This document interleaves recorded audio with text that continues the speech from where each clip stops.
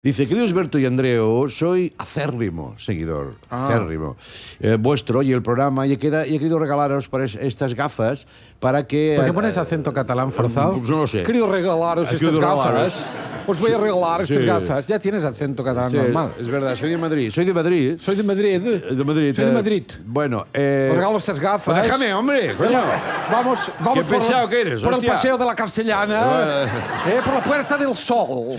Calla, hombre. Eh, estamos aquí con las Cibeles Sí. en Diu- el Museo del Prado. Hemos visto Velázquez, hemos visto Goya.